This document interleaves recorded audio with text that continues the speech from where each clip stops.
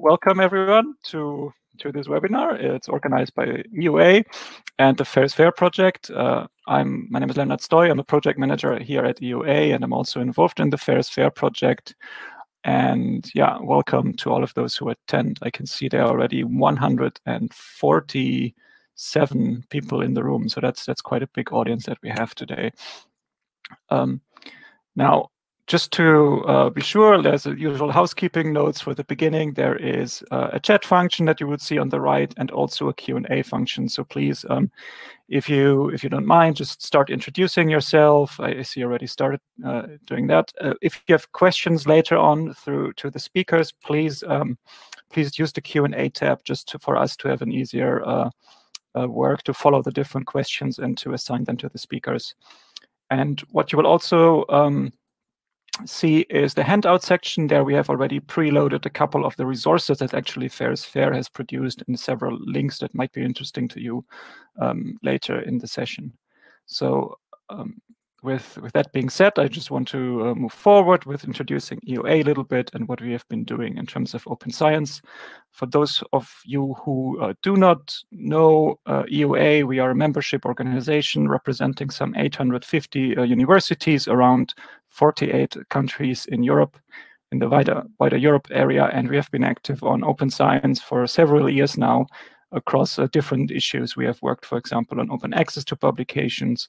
We have uh, worked a lot on career assessment, uh, and very recently uh, have also um, worked a lot on fair data and research data management, which is the topic for today. We're following the European Open Science Cloud uh, policy uh, issues. We have been a member of the open science policy platform of the EU. And we're following different issues about open science and in the European research area and as well in Horizon Europe. And also we do a little bit on the legislation that actually supports uh, open science. And um, also recently we have been joining the uh, UNESCO partnership on open science that is really working towards a global um, definition and also recommendation on what open science should uh, look like and what uh, countries around the world can do to mainstream open science. Now, uh, this being said, I just would like to highlight one thing that we actually have open right now. We have a survey about uh, institutional approaches to open science at universities that has just been extended until uh, 15th of January. So please, um, if you haven't answered the, uh, the survey yet, please feel free to check out the link. I've put this link actually in the handout section, so you can go there. If you click, I think it's download, then you will be able to, to see the link and maybe uh, start uh, working on this uh, survey or to submit it until the 15th of January. Now, so much about uh, EUA. This is uh, today a co-production uh, of sorts of EUA being a partner in FAIRsFAIR, but also highlighting some of the recommendations that came out of the project. So FAIRsFAIR is actually a European project that is funded uh, the, by the Horizon 2020 as part of the work program on the European Open Science Cloud. It has uh, some 22 partners. It's a very large project that is running uh, now for, um, for more than one and a half years. And we will be running this project until uh, February 2022. Now, the project encompasses a whole a lot of issues, uh, and topics ranging uh, from, from interoperability to uh, networks of digital repositories to maturity models for fair data. So we're really tackling the entire kind of, uh, cycle of fair issues in uh, as they come in different uh, organizations and different areas of, uh, of research and work related to fair data. Um, EUA is, is a partner. I'm a work package leader myself on a work package on training and skills for fair data. But this webinar today looks at the policies at the, in, mainly at the institutional level and a little bit uh, at the support that actually um, enables and facilitates fair data. So many of the resources, uh, as I said, they are in the handout section that are relevant for today. I, the project is, is way too big to introduce everything here in a, in a few uh, words. So please feel free to check out the website um, and, and see for yourself. Uh, we hope that there are many resources there that will hopefully uh, help you or inspire you in thinking about how to approach fair data at the institutional level. Uh, just to say also a little bit about why we're actually doing this webinar. You, um, you will see here a slide that just shows a little bit about the evolution of how EUA has monitored uh, research data management at universities. And uh, I don't want to go into uh, all the details and the charts. It might be actually a little bit difficult to read them. But you, what you see here in the top left chart is a slide, that is a question that we asked in a survey in 2016 about the, the existence of, fair, of research data policies at universities. And back then, some 18% of respondents said that they actually had a policy. This increased a little bit uh, to a survey that we had in 2017, where some 21% uh, answered that they had a policy, but an additional, actually 38% said that, that they were in the process of developing a policy. So there has been a little bit of an evolution of how this topic is addressed at universities, maybe more, awareness, but also just a growth in the number of universities that really uh, start working on research data management. And then last year, we also had a survey that looked at um, FAIR data specifically. It's, uh, yeah, I think it's not maybe not that well uh, visible here, but we asked a similar question about uh, universities having a, a, a, research data policy, and then we asked a subsequent question about the elements of the policy. And there we saw that actually uh, FAIR data is in the at the universities that actually have a research data policy. Even there, it's not yet uh, standard yet to be included very explicitly or even implicitly so they are, uh, I think, around one quarter said that they yes they mentioned fair, but that was of the 60% that had a, fair, a research data policy. So there's still, I would say, a lot of uh, space, a lot of room for improvement to actually move the policies and the institutional contexts towards uh, more uh, supportive actions of fair data, towards more explicitly ad addressing fair data in in policies, towards building the support services that uh, tackle fair data, and this is really what we tried to, to do with this uh, webinar here today to show some of the recommendations that came out uh, and the resources that came out from the project, uh, FAIRsFAIR, and also some good practices, and also uh, one side, uh, the European level, and the funding, um, uh, the funding incentives that come out from Horizon Europe, for instance. So for that purpose, we have put together a program of uh, three uh, external speakers here. The first one, and you can see him, I think, already, is Kostas Repanas, who is a policy officer at the European Commission in the Open Science Unit. He is, I think, one of the experts uh, on fair data within that unit who has worked uh, on that topic. I think he's recently also worked on the fair on the COVID uh, data portal, so he has really experience in also putting that into practice and, and showing how important accessible and, and reusable data is uh, with a very practical exam example this year. Then we will be joined uh, by Joy Davidson. Hopefully, she has had some technical issues that I hope will be resolved. Uh, she is the work package leader on the FAIR policy sides uh, within the FAIRsFAIR project, and she's based at the DCC, the Digital Curation Center at the universities of uh, Glasgow and Edinburgh. So she's uh, really uh, one of the experts on that uh, topic from from the project, and also from one of the organizations that really lead on these issues um, throughout Europe. And finally, to give uh, also some very interesting institutional perspective, there's Kristina Hettne, who's a digital scholarship librarian at the Center for Digital Scholarship at the Leiden uh, University. She will give some institutional practical insights of how they approach fair data and research data management and how the support and the policies there work um, towards uh, yeah, making more research data fair and uh, actually enabling researchers to uh, produce more fair data over time. Um, that was my introduction, so I think we can uh, move to the first speaker, and that would be uh, Kostas. If uh, I think my colleague will set up the presentation in uh, in a moment. Yes, thank you. So Kostas, yeah, the floor uh, is yours.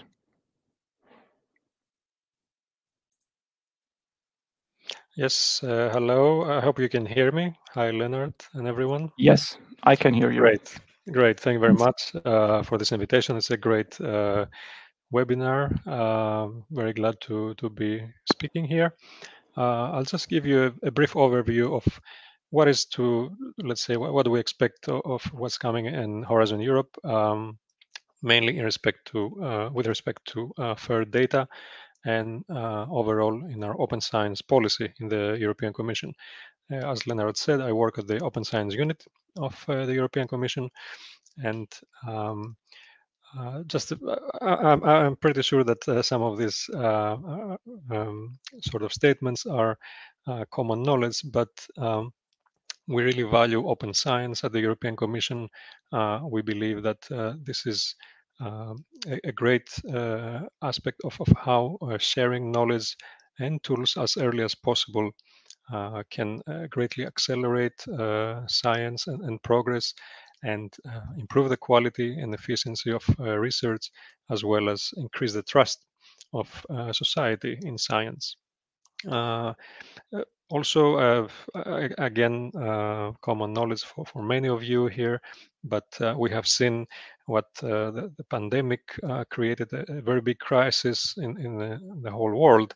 And to be able to have such response uh, to, to this kind of pandemic or the uh, Ebola pandemic, um, we need to, to be able to, to act fast and to share data and resources uh, among different disciplines and among nations as well. So collaboration is also very important and uh, also open science helps to reduce inequalities, uh, which is uh, something that we are pushing a lot for in the European Commission. And um, just a, number there that you see, uh, and many people are, are sort of uh, surprised by that uh, that number of 10 billion per year that we lose in opportunity cost by not having fair data. And this was an estimate um, that PwC did a study for us in 2017 and this is really significant uh, significant cost. Um, of course, uh, what we are about to see in Horizon Europe, I will keep saying that we're likely and about to see because a lot of these things are not uh, a done deal. Let's say it's not uh, decided, but uh, we will see an evolution because always what we try in the European Commission is to introduce slowly different uh, policies after consultation with uh, different communities and with the member states, of course. So, um, as you probably know, we started with an open access uh, pilot, open access publications. then this became slowly mandatory. Uh, accompanied by an open research data pilot. Then the open research data pilot became sort of more uh, mainstream feature. And uh, now, uh, what's coming in Horizon Europe, we're going to see a lot more emphasis on fair data and responsible research data management. So, what we really want is to embed open science practices across the uh, Horizon Europe program. Uh, we're talking about evaluation of proposals. The grant agreement will reflect some of those issues, and the reporting we expect that beneficiaries will report uh, all along the project's lifetime, how they are doing, and, and some of those indicators uh, that are relevant to, to, open science. And again, um, just to be a bit more concrete, um, the whole principle will be similar to what we have now in Horizon 2020, which is as open as possible, as closed as necessary regarding uh, research data. Uh, but uh, what will change in Horizon Europe will be that we will start already in the evaluation of proposals to request some preliminary uh, RDM, research data management considerations. Uh, and then we will ask from all uh, projects, regardless of whether they're going to share data or not, to uh, create a data management plan. So this is a big difference uh, for the moment. If someone opts out from data from open data sharing. They will not they don't have to create a data management plan. This will be different in horizon europe. It's a very big um, sort of uh, difference i would say and it moves to the right direction which means that um, you know what we talk about open data and fair data is actually good and responsible data management. So this is something i would like to, to highlight uh, to everybody. And together with that, we are about to see some other practices like depositing data in a repository, um, and repositories have to be selected carefully. We will have some guidance for beneficiaries. So do they provide PIDs? Uh, do they have metadata enough for users to be able to, to for others to reuse the data? And in some uh, specific um, actions of the work program, we may have requirements to use uh, repositories that are federated under EOSC, the European Open Science Cloud. And together with that, we're about to see also uh, encouragement for licenses that are uh, CC BY or CC0 or equivalent. And uh, something else that I want to highlight is that uh, we start to talk a lot about other research outputs, right? So not only data, but uh, software, algorithms, protocols, workflows, and models. So anything that can be uh, digitally shared, we want to have this in the data management plan, but also physical outputs of a project, like for example, reagents or antibodies, or even hardware. Uh, again, this should be described in the data management plan and to the best effort of the beneficiaries, we would like them to be uh, as open uh, uh, as possibly shared. So we want to be able to reuse all these outputs and uh, we want to we want other scientists other researchers to be able to build on top of this uh, knowledge that is being created. And you will see that i make a special mention at the end to software because one effort now together with other uh, partners also in rda research data alliance and some of the eos projects uh, we try to see what does it mean to have fair software.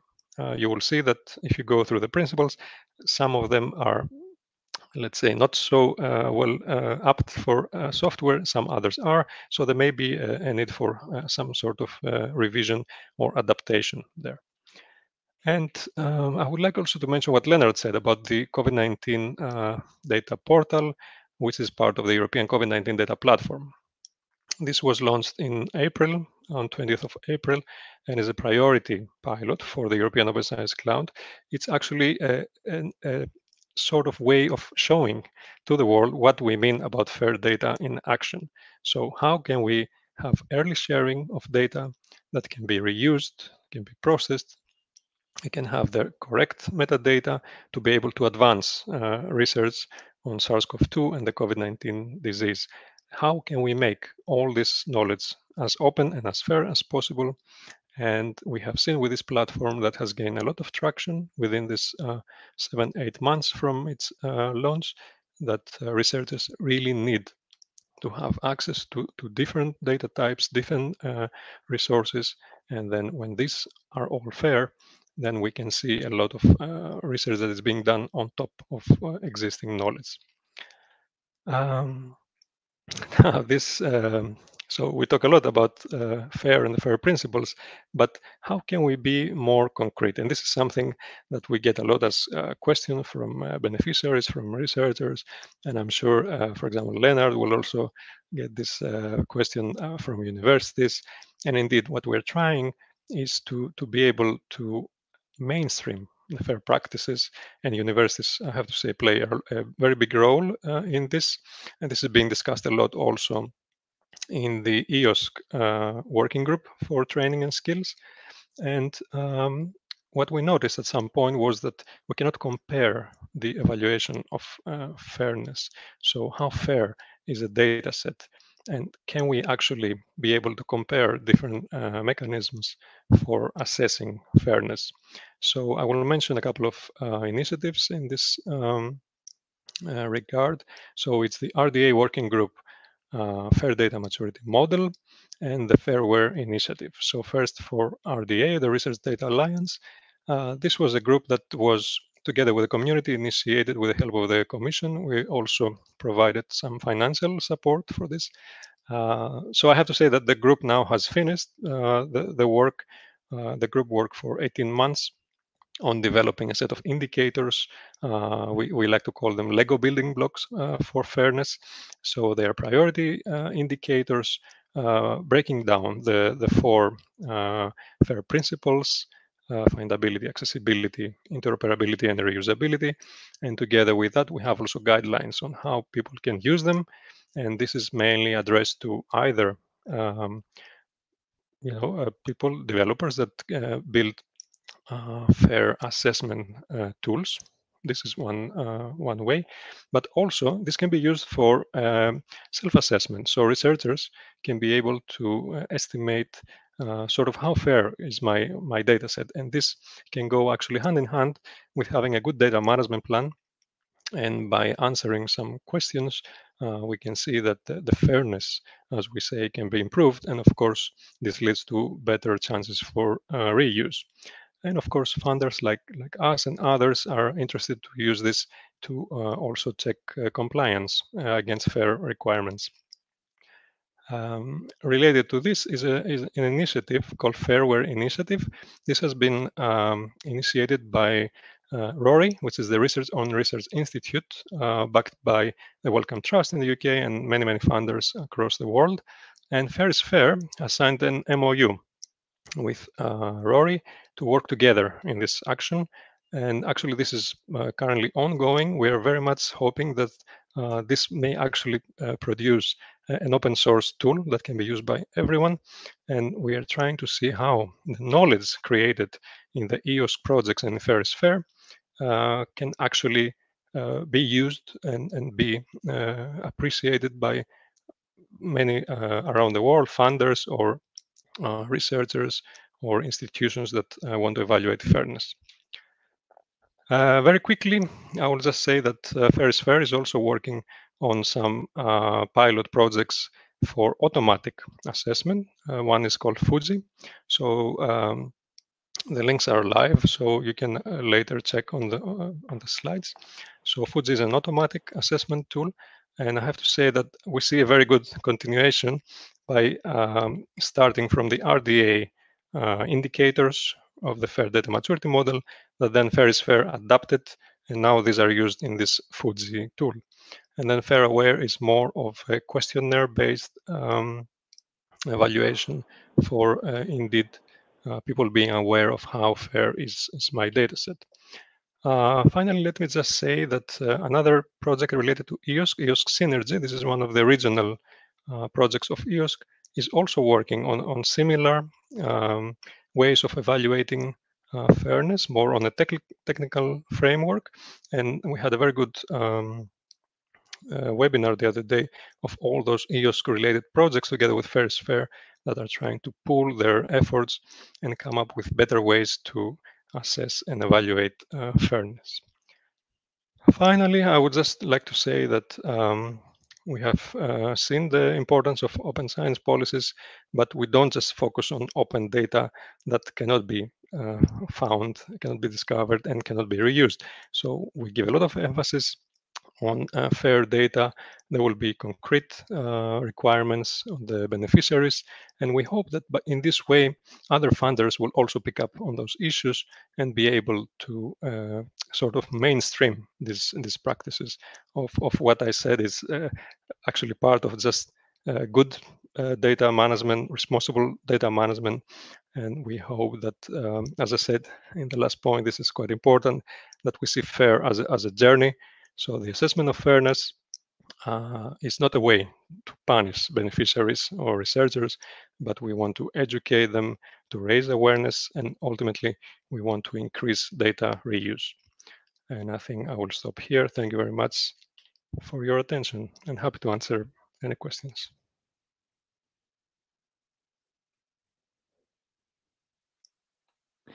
Yes, uh, thank you very much, Kostas. So that was uh, that was already really interesting, um, and it's very nice that you also highlight some of the Fair Fair outputs actually from the side of the Commission. So I would now try to get Joy Davidson um, presenting. Um, Joy, can you give us a sign if uh, if you yes. can hear us? Yes. Yes, just I for the audience. You. Can you hear me? I can hear you. That that is great. So just for the audience, Joy had some technical. Thank you so much yes. for your flexibility with the technical problems. Um, right. So I will just uh, progress through the slides, and maybe Lennart, if you would mind moving them, um, you can go to the first slide, please. Um, yes.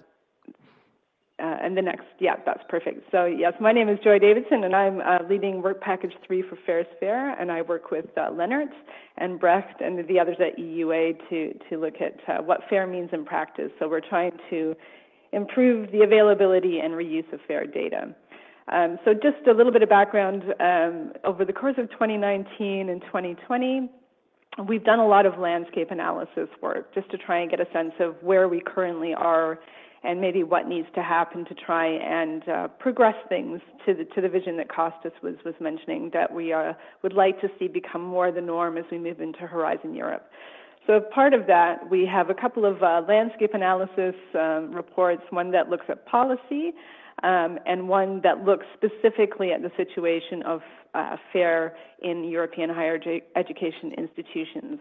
What um, we did also come out with as a result of this landscaping activity was a set of policy enhancement recommendations. Um, and we'll spend the next few minutes looking at, at some of those. I, I, think the key thing to flag up before we start sharing any of the recommendations is that these are recommendations aimed at a broad range of different policymakers. So while many will be relevant to people who work in higher education institutions, some may be more relevant to um, policymakers at the national level or funding bodies and, and publishers. So it, it is very much a broad set of recommendations, and they will be applicable to varying degrees to the different stakeholders. Uh, so that, with that caveat, maybe then we can move on to the, the next slide, please. So the, the first slide um, is just to give a, one of the kind of key recommendations that we, we came up with. Um, so as part of our landscape assessment, we tried to look um, at uh, about 42 different policies that came out from different stakeholders, so funders, um, publishers, and universities were the key groups that we looked at. And we tried to pick um, a good sample of policies from people that we thought were quite mature in, in respect to um, engaging with open science and the FAIR principles already. And we came up with a way to characterize the policies so that we could compare them and try to get a sense of how well uh, the, the, current policies reflected uh, the FAIR ecosystem. So I think the, the first kind of thing we found is it's very, very hard to compare these policies without going with this kind of a structured approach. Um, so one of the key recommendations we would like to try to take forward with all of the policymakers is to try and get a better sense of which policy elements. Um, we came up with 42 as part of our review, which maybe is too many, but which of these really can we start to distill as being the core elements that need to be in an open science policy and to support FAIR? So collectively, we should be able to try and come up with this. I think you know, I've put the link in here to our set of 42 policy characterization elements that people can feel free to have a look at. Um, but I think the other kind of uh, point to bring up here that's quite relevant is that as we're seeing the European Open Science Cloud take shape and the various kinds of rules uh, are starting to be defined, um, one of the things that the Strategic Research and Innovation Agenda made clear is that they would like to be able to start to monitor um, standardized open science and fair data strategies and policies. So really to allow this to happen, we really do have to come up with a, a better way to make them um, structured and comparable. So that, that was our, our key um, first recommendation. So if we can move on to the next slide, please. Uh, the next key recommendation we have, and it's very closely linked to the first one, is that really what we're trying to move towards is a, a more machine readable policy, something that is structured um, comparable and that can actually uh, give some indication as to what has to happen. So the, the rules, if you like. Um, so to move towards this sort of a, a, vision, one of the things we think has to happen is that policy should have a, a persistent identifier applied to the actual policy itself. It should be clearly versioned as to which kind of uh, policy it is. Is it the current policy? Is it uh, you know, version 1, version 1.2. Uh, we really need to have these kinds of um, specifics made clear in the policies themselves.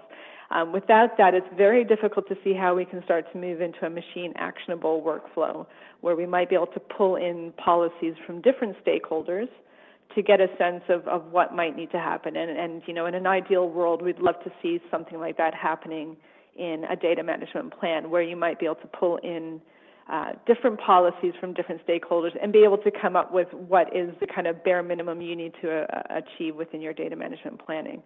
Um, so that that is something that we need to to work towards. I think one of the key and, and possibly the quickest win that we can uh, recommend is that it's um, it was amazing to us how often there was no date associated with any of the policies that we found. Um, so really, this is something super simple and everybody can do. Make really clear when the policy comes into effect and when it will be um, running towards, uh, you know, when, when the end stage comes in. So that, that's something that we would certainly think is a really quick win and everybody can do.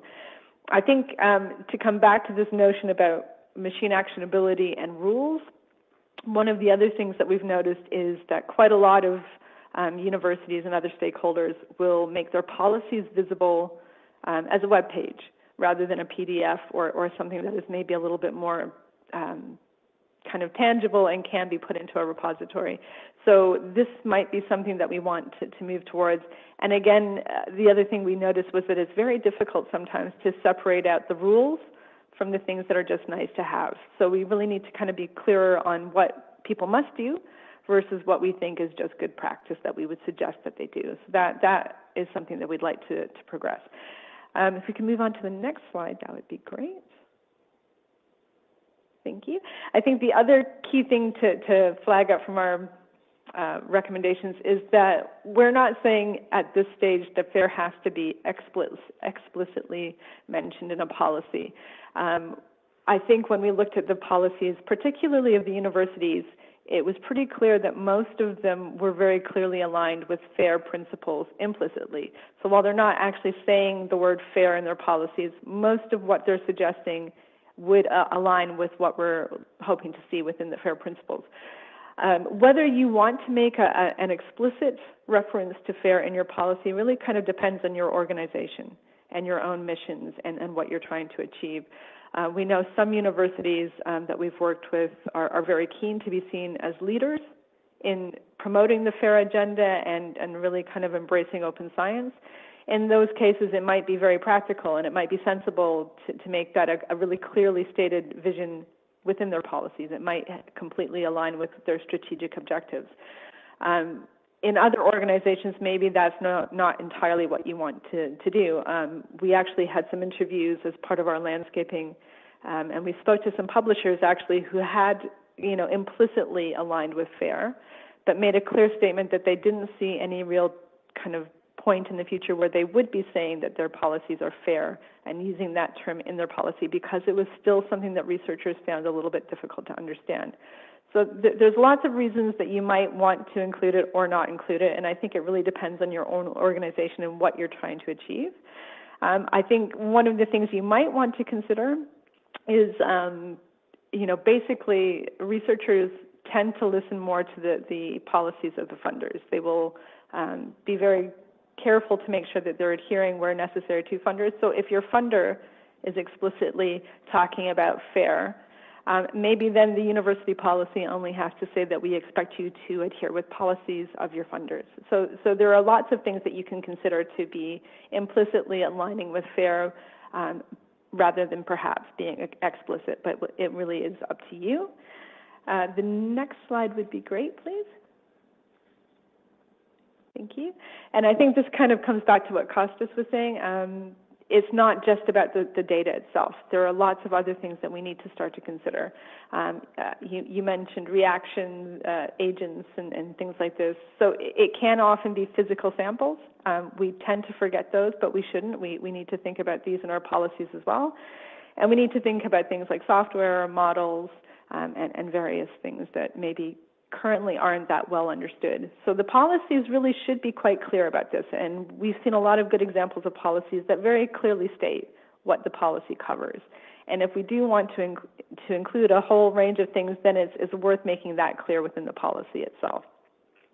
I think the other thing that we uh, recommend is that um, it's really kind of important to work with communities of practice to determine what is fair enough because in different disciplines, um, fair can mean different things. And I, I think um, it's not for us to impose what it means to a certain community of practice. We need to listen to what they're saying.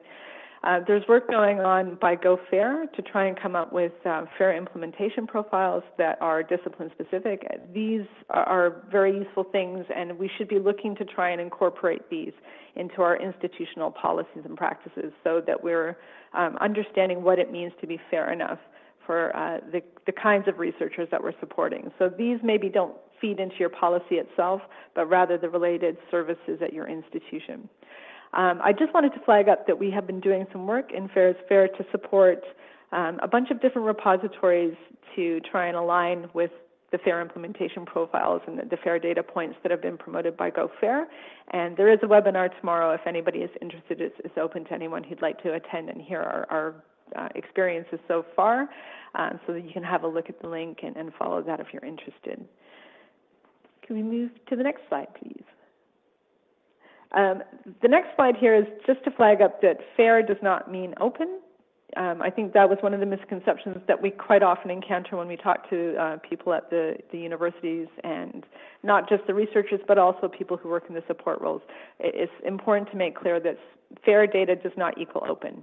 There can be FAIR closed data as well, and there can be many good reasons for not sharing research data.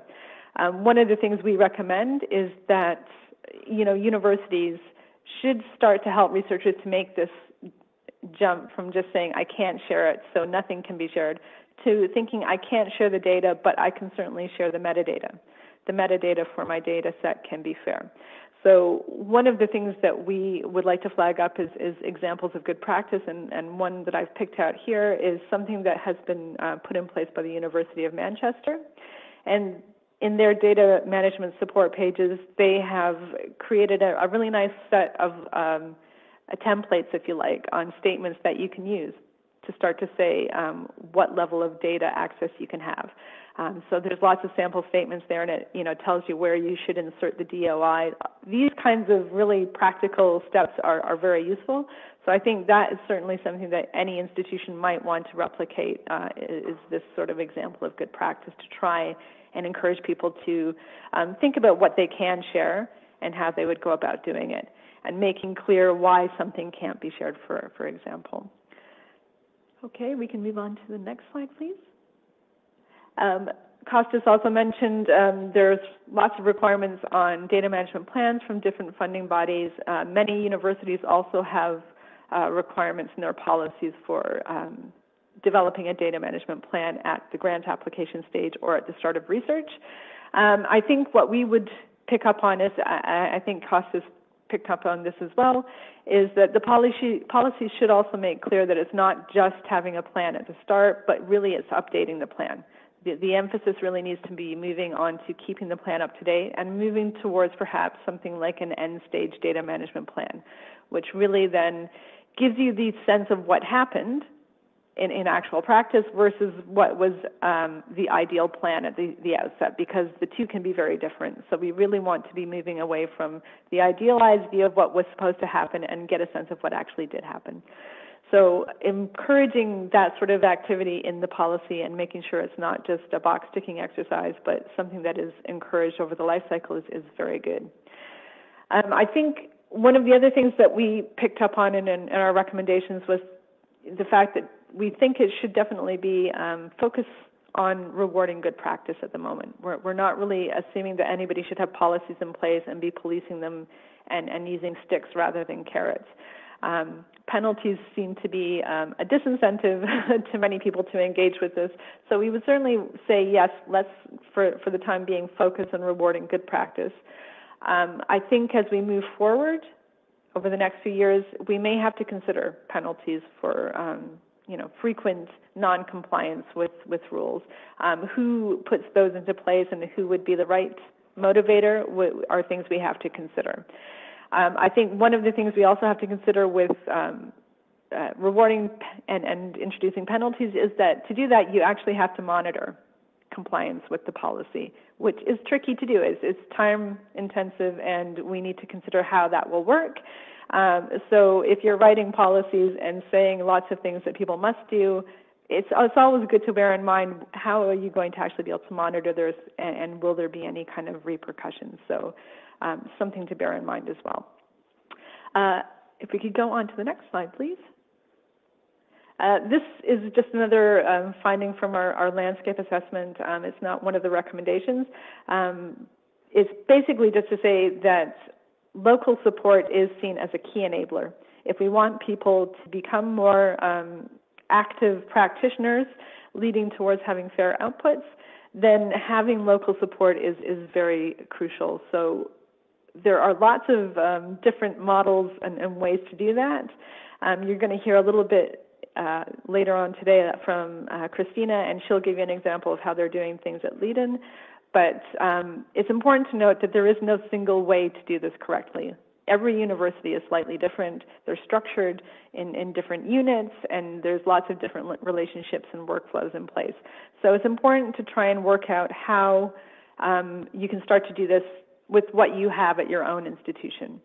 Um, and there are differences in terms of what resources are available. Um, so for those institutions who maybe don't have a lot of, of resource to work with, um, we're seeing interesting things where we're getting um, sort of collaborative pro- approaches, and we've seen this with the, the Swiss, uh, the Swedish uh, country example, um, where they have different research support staff in different organizations who are pooling together their knowledge to be able to deliver um, data stewardship um, support uh, with, with limited resources, but pooling in uh, different kinds of, of expertise from across different universities. So um, try to think creatively about how you can provide data stewardship support and, and try to make sure that it's um, uh, at least something there, if it's a web page or pointers to external resources, whatever you can do, I think any kind of local support will, will be helpful.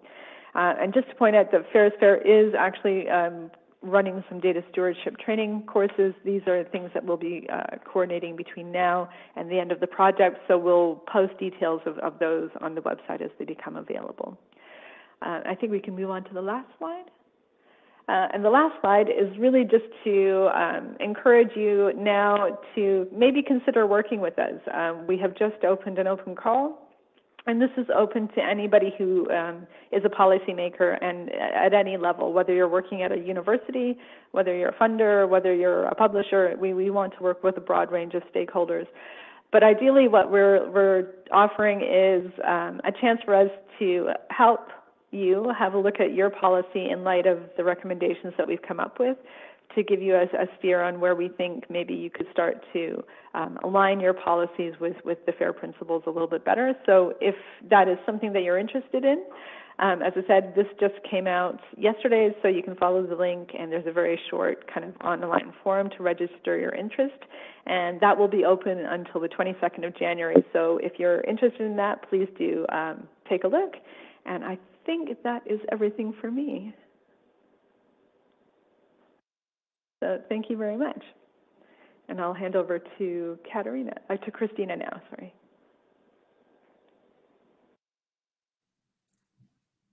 Yes, and I'm I just got an error message that my microphone isn't working, but I think if it's working, then Kristina, it's now time to, for you to pick up and I laughing. So thank you, Joy, as well for for presenting. And um, yeah, uh, let's move to Kristina because we I think we're running late a little bit. So thank you and yours. Thank you. Yeah, I also get this message that my microphone is um, not hearing at a certain time. So, well, I hope it will be going uh, going fine. It's okay. Okay. So, um, thank you indeed for inviting me to talk about the inclusive approach to FAIR at the Leiden University Libraries. And I am indeed Kristina Hettne from the Center for Digital Scholarship at the Leiden University Library. So at uh, so Leiden University is a broad university, and uh, the Center for Digital Scholarship provides support for research data management, uh, copyright, um, open access, but also use of digital data. And we are now a team of uh, nine people that you can see on the right hand side, working on different areas. I myself am mostly involved in the data management and open access. And we give events and workshops, but also focus on specific projects where we try to help researchers in um, the digital data and uh, also uh, making data fair. And just to mention that we are trying to focus really on the FAIR principles and not the acronym of FAIR. So I'm not going to read the principles to you because you probably know them. But uh, yeah, just to mention that that is, yeah, that's where we are trying to focus on and not dividing too much from the actual FAIR principles. That's of course were published in the links you can find uh, below. And also the link to the GO FAIR, where they try to be a bit more explainable about the principles and what they are about. So some current training and consultancy service examples. Um, for training, we give a how to write a data management plan workshop every six weeks to researchers in from the whole university.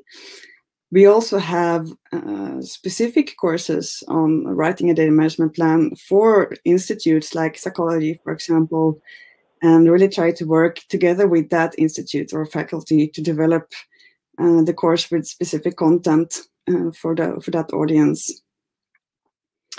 And well, writing a data management plan would, in my opinion, be the the first step towards FAIR. So it's really the uh, it has its place here we also have workshops on really hands-on bring your own data workshops where we help researchers making the data fair and really focusing on the interoperability and reusability part of their data, doing the data modeling and um, looking at how they can um, yeah really focusing not only on depositing their data somewhere but really making it reusable.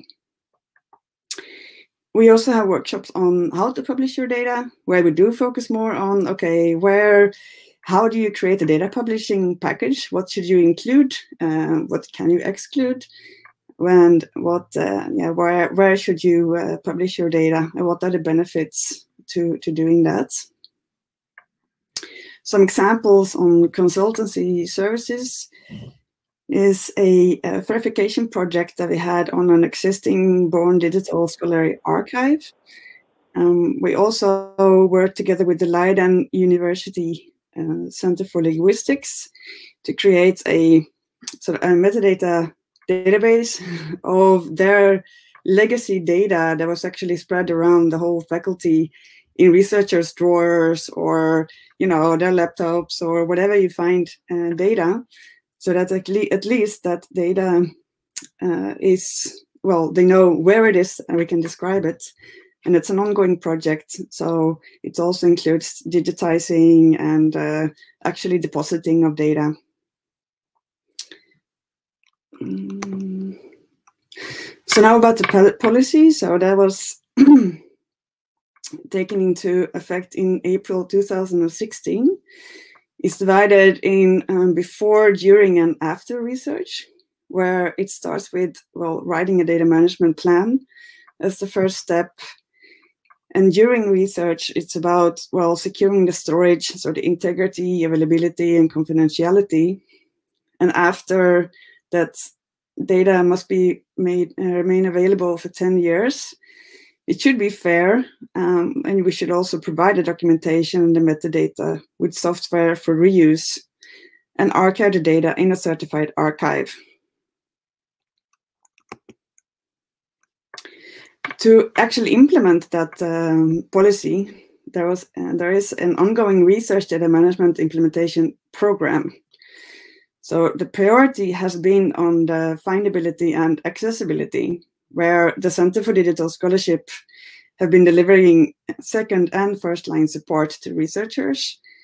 And the focus has been on you know, depositing data in a trusted digital repository in line with government gu guidelines, uh, funders, and publishers' policies.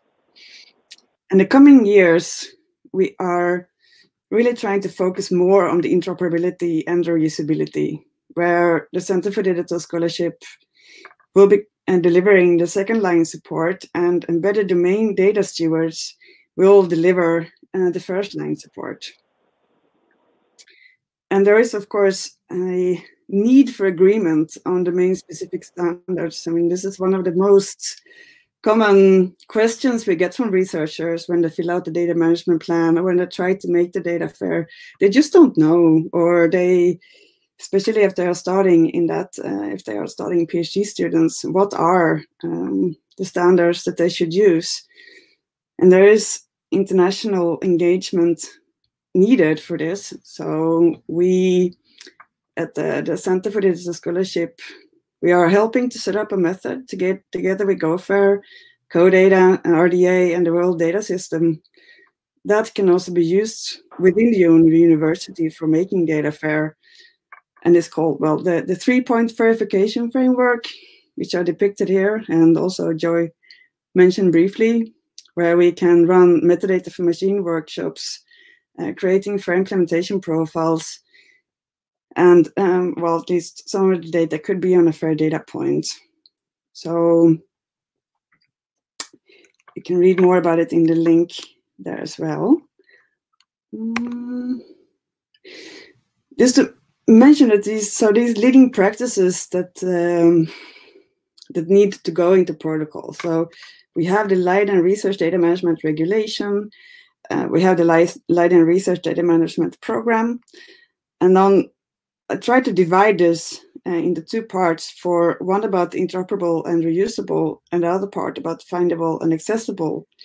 So for findable and accessible, we can set up university-wide training and university-wide services because it's just not, yeah, it's just not that complicated, so to say. Uh, and the leading policies and regulations following the FAIR principles coming from the European Commission or national research funding organizations, universities, well, they need to, of course, interact with these training and we need to make sure that they are aligned and there's feedback in developing these uh, services and training.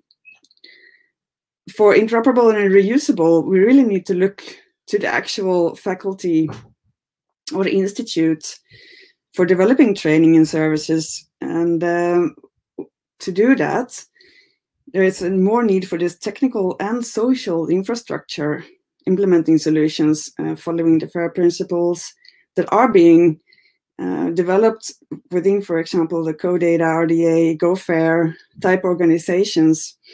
It's more um, of a bottom-up approach, seeing what domain uh, specific knowledge that is uh, that is needed. now about some lessons learned. So about this international uh, collaboration that I just mentioned, that we really need uh, to collaborate closely with these type of organizations to co-develop leading practices and implementation guidelines for FAIR.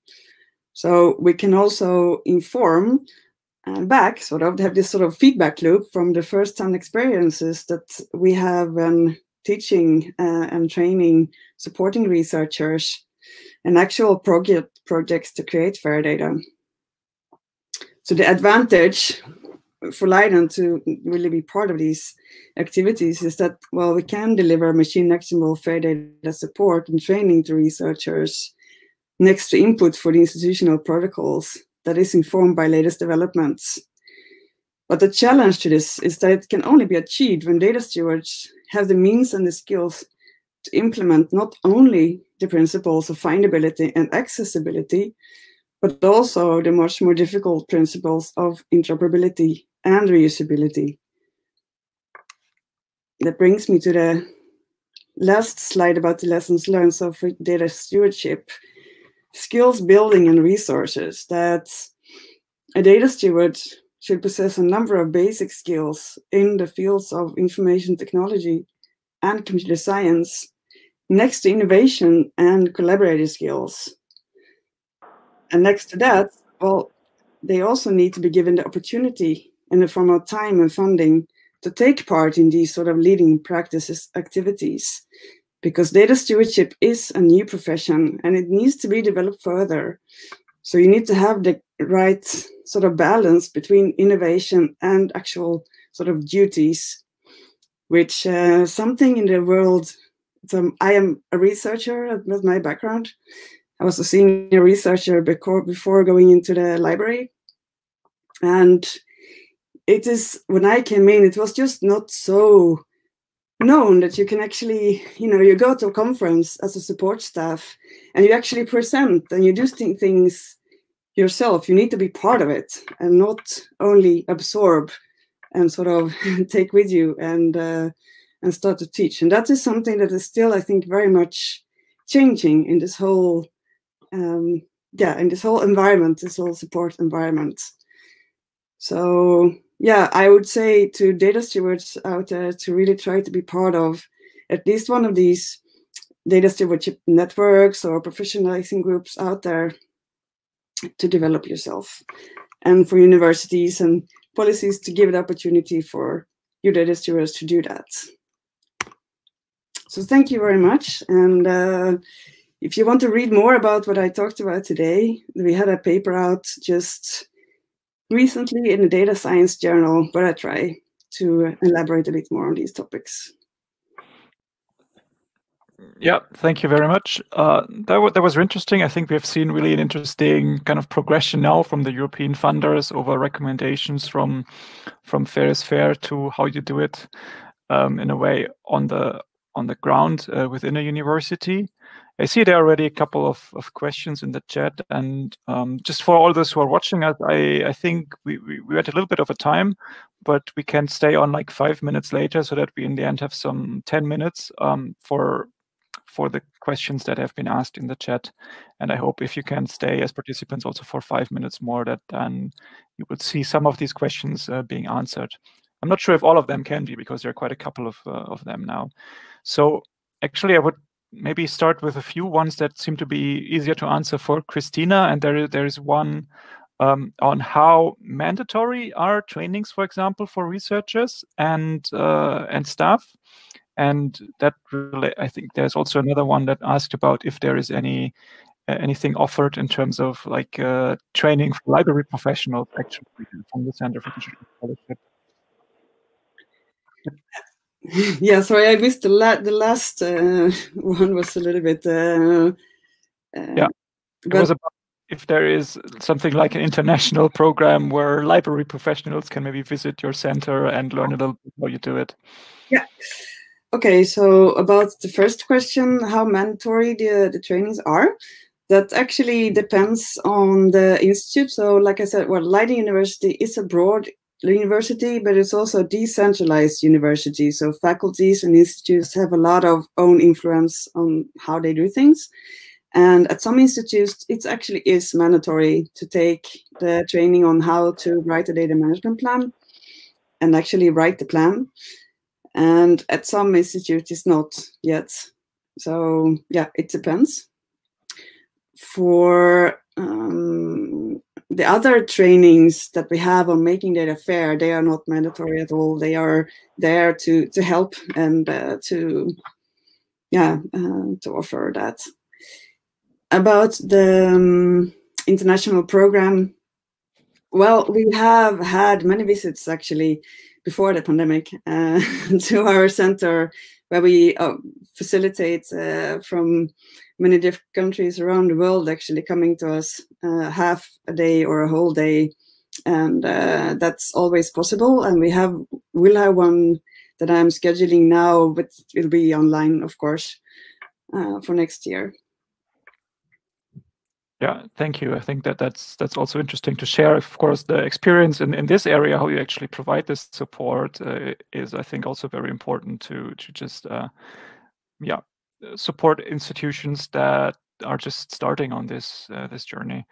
I see there's another question uh, for for Kostas in this case, and that is a little bit on the side of uh, machine readable, actionable, actionable or readable uh, data management plans. So, is, how how will the commission support, if if you will, uh, the development in this field? And I think maybe in general, how how you will support more fair data in Horizon Europe um, besides the requirements for DMPs. Maybe that would be interesting. Yeah. So in general, we we hope to have um, as much uh, guidelines and guidance as possible. So together with the um, what is known as the model grant agreement, we always have the annotated grant agreement, which uh, it's a very detailed document and uh, contains a lot of information for beneficiaries on, on what are their uh, um, obligations, what are the requirements. But on top of that, we will have, we already have, uh, of course, a website which we update much um, much faster. And there we will have a lot of guidance again, for example, on repositories, uh, there will be more or less some kind of uh, tiered approach. So which repositories to prefer when you have a certain uh, data set, data type, or if you are from this discipline, prefer those kind of repositories. Again, we see in FAIRsFAIR uh, efforts to sort of modernize the CoreTrustSeal certification uh, to account for the FAIR principles. So, you know, if this becomes a, a sort of standard, we may ask uh, that repositories that have these certifications are, are preferred. Uh, we heard about uh, some rules in EOSC in the European Open Science Cloud. Again, these as they emerge, because a lot of this is ongoing work, uh, this will become uh, clearer for, for beneficiaries and I believe easier for them to, uh, to sort of comply with the requirements. For the machine actionability, this is something that um, we we are we are very passionate about, but you have to realize that even within the commission, uh, my wish list may not be what what uh, in the end will happen in Horizon Europe. So let's say that we are trying very hard to to have this. It may not be uh, there in the first uh, instance, the first year perhaps.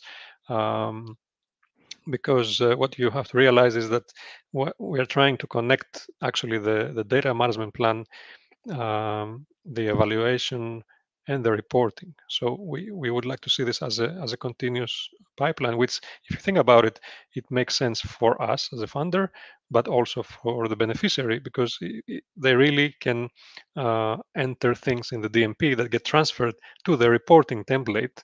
And then, you know, you don't have to uh, enter again and again the same information. And there's where we believe the machine actionability will help. So both in creating the DMP uh, so we are thinking of uh, whether we could have some sort of uh, even you know uh, drop downs that that people can uh, get advice for maybe it's licenses or repositories or if not if it's a more liberal sort of create your own dmp with with a tool and then upload it but then how do we make this machine actionable to be able to let's say talk to the, the, reporting requirements, then this is still ongoing work. But we are also looking at RDA because there is a, a working group there that has done quite a lot of work. Uh, there are a lot of pilots, and if something emerges as as a more sort of uh, preferred solution, we will be sure to recommend that. Yeah, thank you. Uh, yeah, I think I suppose that will be very uh, interesting for many to know how actually this will be further yeah supported or facilitated to reach the the fairness or in the in the long run i see some rather i think more practical questions that are maybe for Kristina and, and maybe joy as well to answer is how did you recruit data stewards? And do you have any uh, yeah experience how how to become a data steward from a library professional perspective? So maybe for for Kristina and maybe joy if you if you have anything to say about that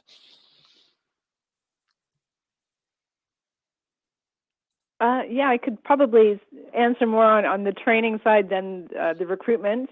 Um, but certainly for the, the training, there's a lot of um, RDA groups. Um, there's EOSC skills uh, working group as well. So there's quite a lot of people working to try and come up with this. Um, there's training that's being offered through a lot of the, the European Commission cluster projects as well. Um, so there's things like Elixir where they're doing specific data stewardship training for, for the life sciences. And as I mentioned, we've got the FAIRS Fair um, uh, data stewardship training, which is um, something that we're piloting at the moment. But there, there's a few different options. Um, the work that I think Kristina mentioned is that a lot of this is very kind of informal at the moment, on the job training, um, and there is a need to really progress this as a profession and to get some endorsement of the skills and and some some level of formal certification. But at the moment, it is it's mostly through these initiatives in a, uh, an informal sort of a way. Yeah, Kristina, do you want to weigh in on that? Yeah, maybe that uh, the, on the question indeed about what sort of advice that uh, I would have to library professionals who are keen on becoming data stewards um, I would definitely invest in these uh, technical skills. So really, uh, I don't know if you know about the library of carpentry, but um, and it's it's a great organization that really tries to invest in the technical skills of of librarians uh, about data um, and learning about programming, learning these also very uh, technical skills. And uh, um, yeah, I'm involved in that as well. Where we working on a fair data curriculum actually uh, as well. So data modeling and yeah, invest in this because this is definitely the future. And if you do that, those skills will always be uh, needed and are very much sought for. Okay, yeah, thank you. Yeah, uh, in many discussions that that we have in here at UA, there's often the the need for skilled people and the challenge to hire them to become data stewards. Also relating to, to the possibility of actually having a career in that area is definitely something that, that we hear a lot and that probably has to change a little bit more uh, on a systemic level to really make this attractive. Like let's say in, in the 40 countries or so that 48 countries that, for example, EUA covers, because many of these things are also uh, embedded in the legal uh, situation about hiring different types of staff. Now, I, I, see just a very last question, maybe for Kostas, and then we can wrap up. And there is the, the question about additional or special funds for data management in a project, if that will be maybe possible. I suppose that actual data management already can be is eligible. So I yeah. guess the question if there is maybe something on top uh, that could be received from certain funds that maybe are geared towards making the data more fair. Or well, so. it's it's very clear that all, all uh, costs associated with uh, data management and by extension fair, fair data uh, they are eligible costs so uh, the, the the job of the beneficiary is to describe very well in the data management plan and in the proposal what they intend to do and uh, justify sort of why this this cost is needed for for data management and then it will be of course included in the in the cost of the project Good. That is very clear to make the proposal also uh, very clear in terms of the costs that are needed to cover, yeah, staff such and as this, Kristina to support. Exactly, and I go back to, to both actually, uh, Kristina and Joy, because indeed the data management plan uh, ideally would be a, living document throughout uh, throughout the project that you can see progression and what what really happened um, throughout the lifetime of the project. But also the role of, the, of a data steward will be crucial, and we see more and more universities, institutions uh, sort of developing these profiles. And this is very encouraging because uh, we, we get sometimes the question that, uh, oh, I have to focus on my research. I cannot do all those uh, tasks associated with data management. So this is where a data steward can, can also be very helpful. And we need to see the professionalization of those roles as well. And um, in the example of the European COVID-19 data platform, very quickly to tell you that we had uh, a, really big network of collaboration with different uh, countries. And for the example of Germany, that has a peculiarity of, of the different uh, sort of uh, Länder that have uh, different laws for data sharing. And when it comes to uh, genomics health data, they actually hired a full-time data steward to be able to respond and to be able to upload data to the portal. So, you know, we, we see this evolving and uh, it, it's very encouraging. So we hope that we see more of these roles. Yeah, I can as as UA I can fully support uh, support that. So I, I think we should wrap up here. We are almost uh, 10 minutes beyond the time that was indicated, but I would like to really thank you, uh, the speakers, Kristina Acostas and Joy, uh, for taking the time, for staying on a bit longer for answering the questions. And I hope that all the participants here have also uh, taken away some interesting information, some inspiration, some some news about Horizon Europe, um, maybe. I see that uh, Kristina is also putting her her email address in the in the thing. So please, if, I suppose you can contact them if you have any questions. But uh, yeah, I, I, think we also have. I need to show uh, one little thing that is uh, that uh, as EUA. We have also a couple of uh, new events upcoming. That is uh, in January, a thematic workshop of the Council for Doctoral Education. Uh, that it actually also will be dealing with data management and, and uh, artificial intelligence, I believe. So that should also be interesting for some of you who are uh, already here on this call. And there will also be something later in February online as well uh, on learning and teaching. So we have a wide range of, of topics um, that we will address in the next month. So yeah, thank you all for for participating. As, as again, I hope you enjoyed uh, the webinar and learned something.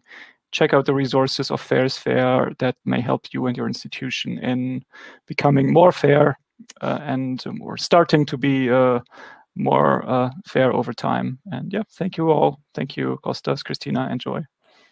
Thanks very much. Thank you. Yep.